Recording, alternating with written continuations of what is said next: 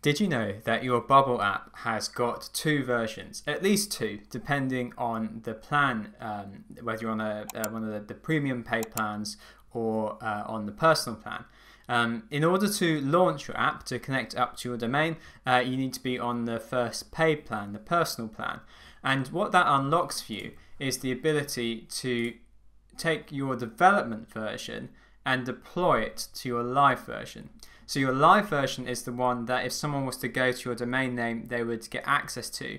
But if they were to go to, um, if I just use this as an example, um, so I'm in my development version, my test version uh, in uh, the Bubble editor, and then if I go to uh, preview it, I'm previewing the version hyphen test. So this is um, the one that I'm building. If I make changes in uh, my editor, these changes are reflected immediately on my uh, version hyphen test, my development version. If I want to uh, deploy changes to my live site here, um, then I have to deploy them. And I do that by going deploy current version to live, uh, writing a, a description um, and hit deploy. So now any changes that I've made in my development version are reflected in the live version. Um, this is not something that you get access to on the free plan. This is an app on, on the free plan and it's prompting me to upgrade to deploy and I have to choose uh, one of the, um, the paid plans in order to do that. Here are a few things to bear in mind uh, about the difference between the development and the live version. First of all, your database um, is uh, linked. So you have a development database. Here we see here in this, this uh, test app. Uh, this database, if I was to upgrade this plan and deploy it to live, um, then it wouldn't take this database with it. And this makes sense because you want to be able to create all your test users and, and test your development version, um, but your live users uh, are going to be completely separate. Uh, so you'd access that by switching to the live database. Um, and then in the Bubble editor, you can make direct edits to the live database um, just by switching it here. You can also, um, in the Bubble editor, uh, if I switch here to live, I can then view the contents of my site as it is in the live version.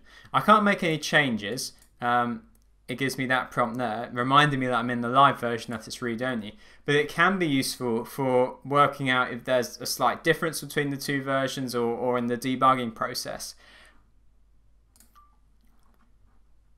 And finally, my last tip, if I go back into uh, my test app here, um, this is something that I found really useful in conditions on workflows. Uh, if we just go onto one of these pages, um, you can get Bubble to tell the difference by using the uh, isn't live version. It's a bit annoying that they use a negative in there. You kind of just have to work out the logic. So if, if I hit preview,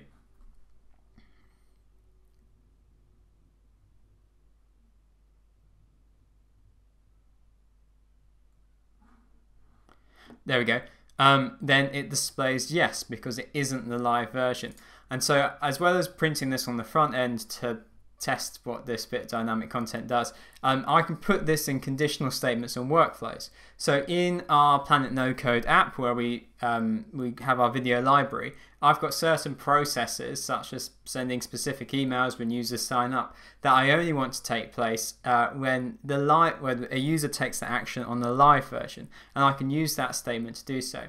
So there we have it. That is an overview of the difference between the development version and the live version. I'd say the number one takeaway there is to recognize that you have those two versions. Uh, and then the number two takeaway is that the your database is specific to the version.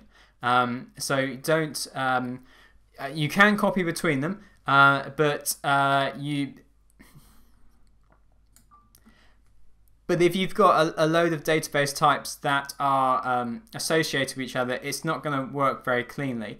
Um, so if uh, part of your app is to have like a, a, a large resource library, for example, then I'd recommend from day one building that in your live version rather than in your test version.